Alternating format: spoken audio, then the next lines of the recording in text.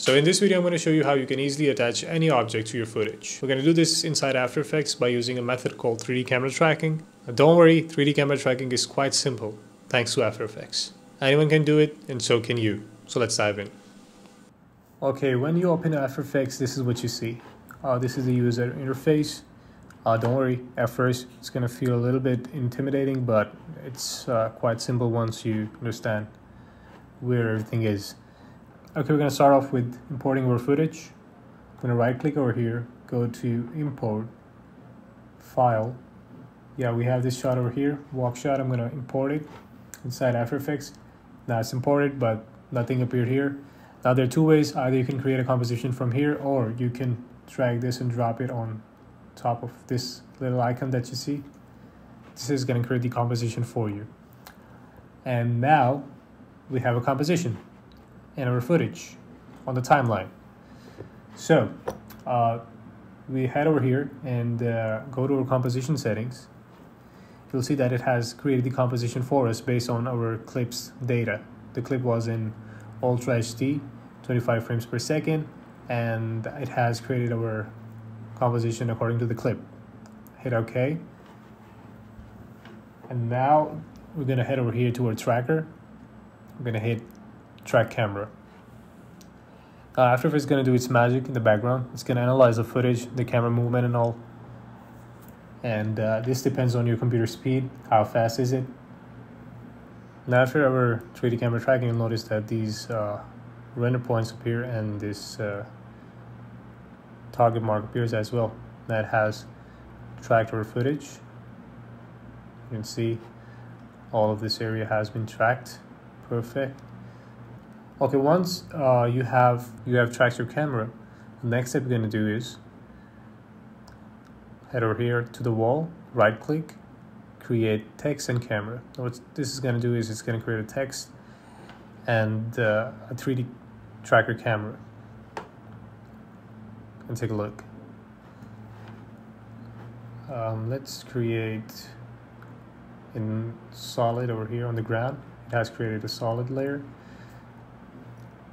we're gonna pre-compose our solid. Double tap dive into our pre-composed solid composition. Now we're gonna import the uh, skull. Drag it on top. Hide the uh, track solid scale it down a bit around here okay. Take a look. It has perfectly tracked that onto the ground. And if you want to move it you can move it. If you want to rot rotate this you can rotate this. Let's head over to our text double click our text and you can type anything you want here. Say uh, hi maybe or 3d camera tracking. Don't worry if it's too much, scale up, double click and scale it down a bit around here. Then uh, reposition this to where you want it to be. Rotate it a bit maybe, yeah, that feels right. And voila, there you go. And now we can even animate this let's say um, I want to animate the scale of it. I'm gonna go to my uh, text, hit S on my keyboard, the scale is gonna pop up.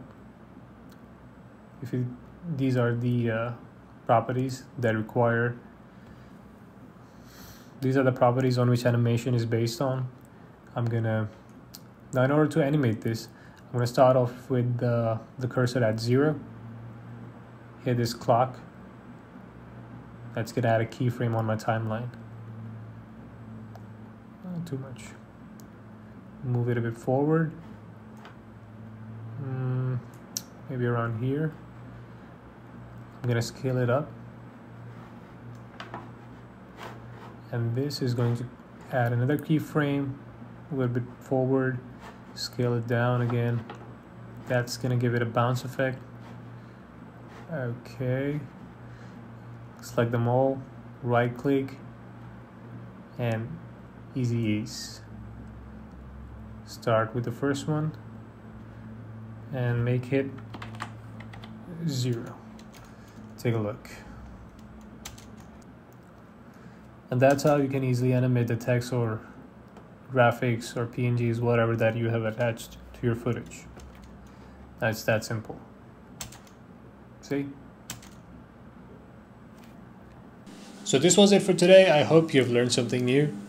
And if you have please hit the like button and do subscribe to my channel for some more awesome content coming in the future